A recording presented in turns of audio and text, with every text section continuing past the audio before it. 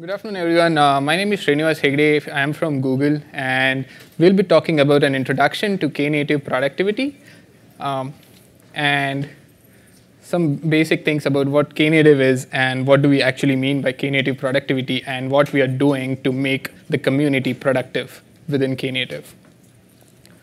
So just a show of hands, how many have actually heard or actually read or know about Knative and would like to use them?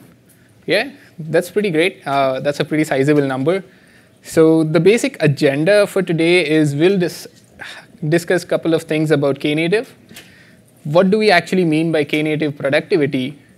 What are the some tools that we are currently using or we plan to use soon? And some time for Q&A at the end. So let's start with what exactly do we mean by Knative. So Knative is a platform that provides building blocks for serverless on top of any Kubernetes implementation.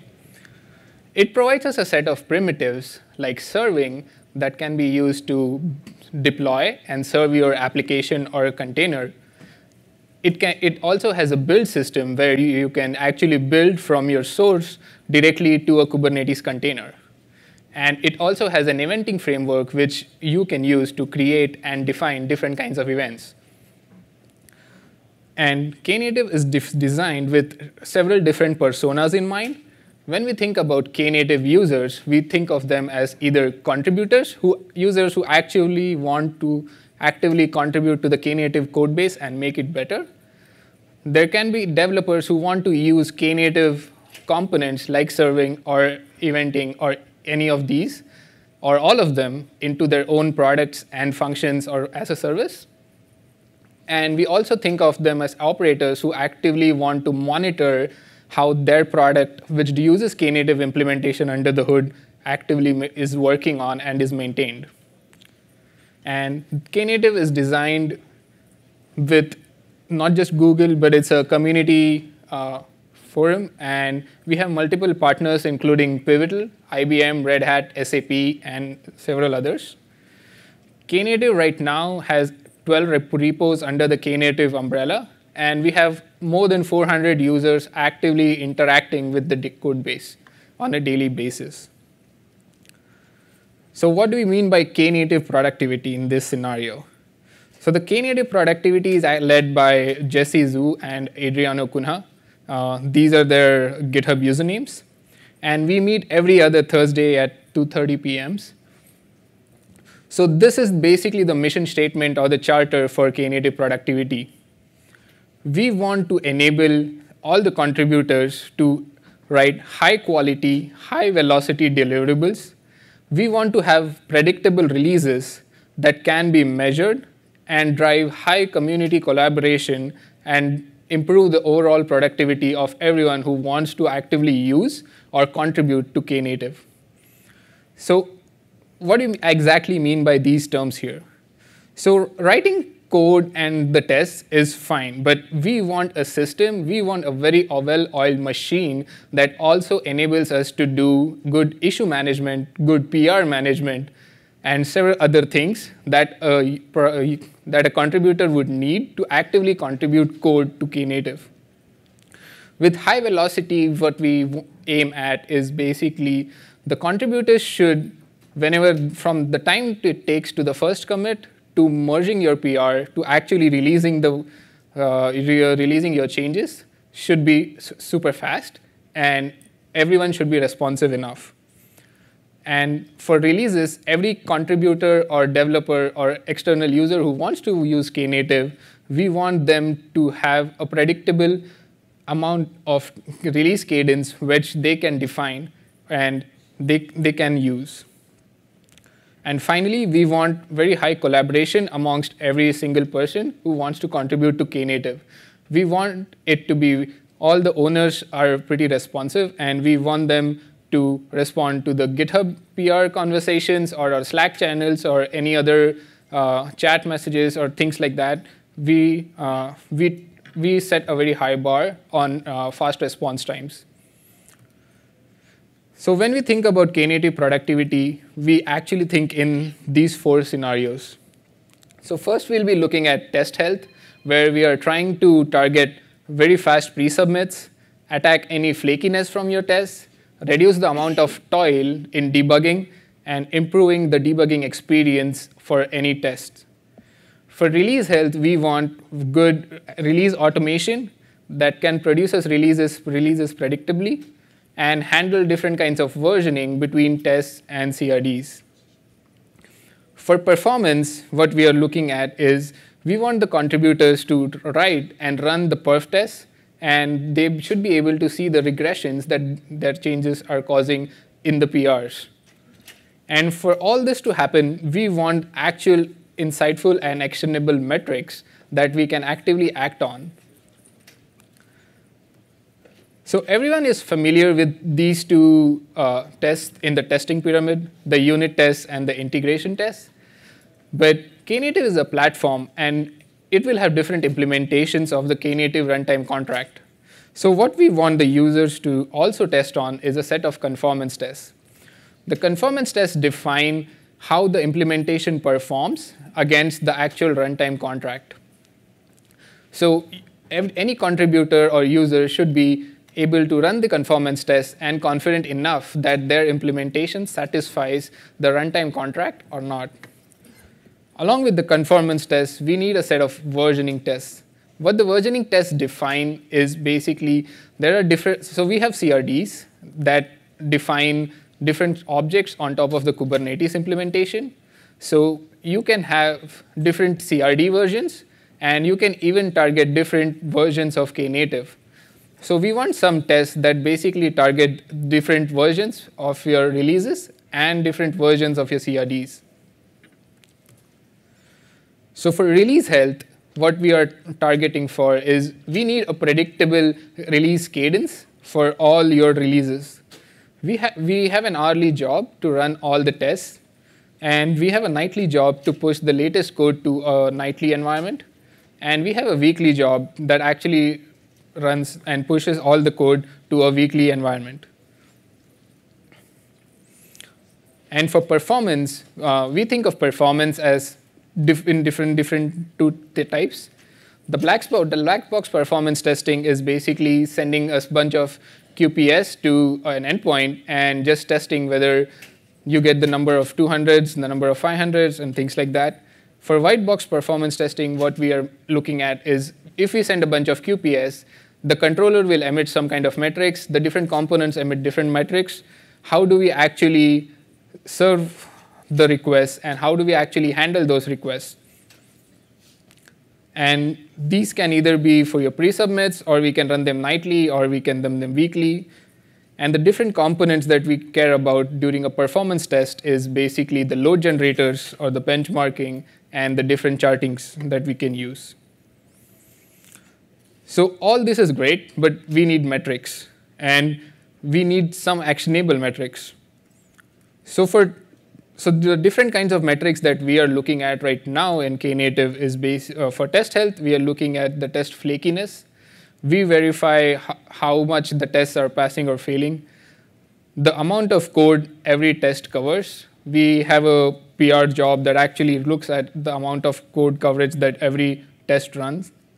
The time to actually run the test and the resources that are needed to run the test. And for release health, we have a periodic job that automates all our releases. And so we look at how the job is doing and what are the other tests that we run with the releases, what's their flakiness rate, and how much time does it take to run. So for performance metrics, what we look at is the latency metrics. For example, what's the percentile for P50, P90, P99, things like that. And what we are lo also looking at is uh, the auto-scaling metrics. Auto-scaling is an important feature for Knative, and what we are looking at is how much time does it take for 0 to 1 auto-scaling. That means that when I deploy and send a request, how much time does it take for the first pod to come up and actually serve the request. We are also looking at 1 to 0 auto-scaling. For example, if I, if I don't send a request for a lot of time, how much time does it take for the last pod to actually turn down. And we are also looking at 1 to 1000 scaling is basically how much time does it take for it to go from one pod to 1000 pods to serve your request. And the different server metrics that we are looking at is the different controller metrics. So for all, all our CRDs, we have custom controllers that serve different kinds of metrics. We are looking at the different controller metrics that the server responds with. We are looking at the different pod metrics, like number of pods required to run the test, or number, the amount of time it takes to bring up a pod. And we are also looking at the autoscaler metrics, like how much time does it take for the autoscaler to actually respond to the first request, what's the queue length for it to serve different kinds of requests, and other things like that. So now we can actually take a look at the different tools that we use or want to use. So first is CI/CD. So for CI/CD, we have different kinds of pre-submit and post-submit workflows that gate the quality of check-ins. And we have different uh, release automation pipelines, and we want to maintain the quality of the release. We want to define and implement the different release criterias and define the process around it. And the CI/CD system should allow us to run all sorts of tests that we want to run on also on different cadences. And all the outputs and metrics should be stored in the logs. So the CI/CD system that we use is Prow. Uh, if you attended the Prow lecture recently, like the like couple of hours ago, there were they gave a good that was a good lecture for Prow. Uh, so Prow is basically a Kubernetes first CI/CD solution. It is being used for uh, all the Kubernetes repos. It's been battle tested with Kubernetes. It's very easy to configure. It's very easy to extend and it handles all the plumbing for you from GitHub to storage. So we use Prow to basically have our PR jobs that run our code coverage jobs, run all the tests, and produce results in the GitHub PR conversation. Or we have periodic jobs that basically run them nightly or hourly, and we release uh, and also use this for a release process. So the next thing we'll talk about is the load generator metrics. Uh, so as a load generator, what we wanted for our perf test was we wanted a simple Golang library that we can integrate within Knative. And we wanted the load generator to provide all the data points that it can from the response. For example, if we send a 1000 QPS, it should not just tell me like I had 500 200s and 500 uh, 200s and 500 500s. I want to know what exactly happened with each request and how it was responded and what's the response from that for every query that I send. And if it has advanced features like latency calculation and charting and things like that, that would be great. So the the tool that we are using uh, for performance testing is called Fortio. Uh, it's an open source tool developed by the Istio team. And the main advantages of Fortio is uh, it can run at a fixed QPS and not just max QPS. And it also provides us with, us with a server which we can use to actually test any proxies or ingresses that we will be using. And it can generate standard HTTP2 in addition to HTTP 1, 1.1. And Fortio is a simple Go library which we can easily integrate with uh, our Go testing framework. So, and it provides some default charting capabilities that allow us to uh, show the histogram data of all the response rates and provides all the data points that we can later on interact with. And it also help, gives us you a JSON output of everything that happened. So you can easily parse the data and uh, act on those things.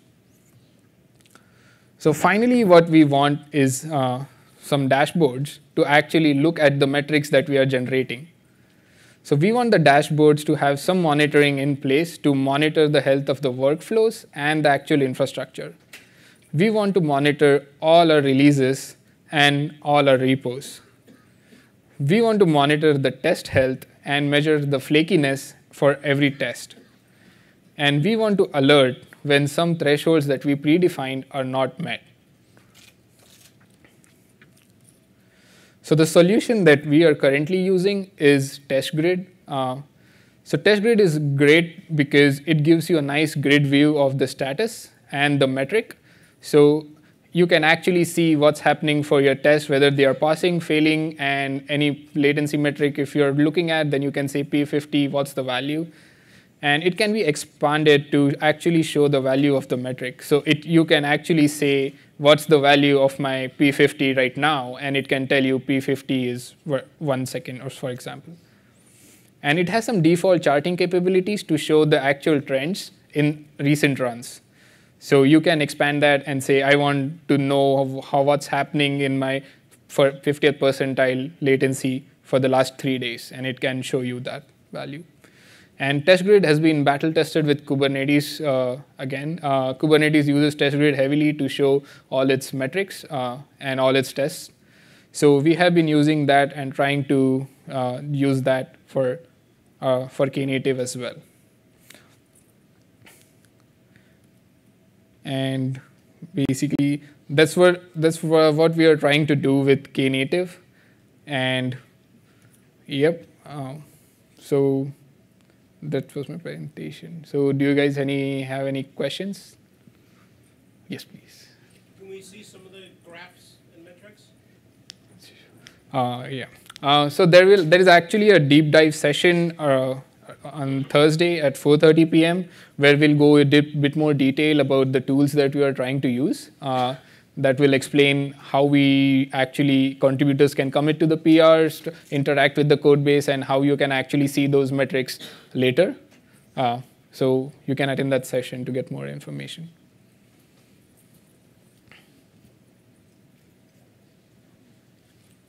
Yes, please. Prow, yes, Prow is open source. Uh, it's in the Kubernetes test infra repo. Uh, and it can be used to configure any CI/CD. So you can use it for any repo outside of Kubernetes as well.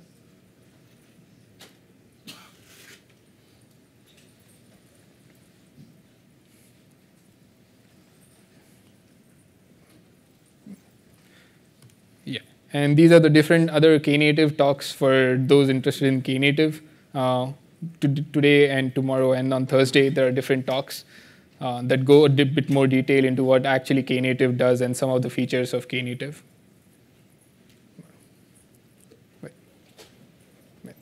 Thank you.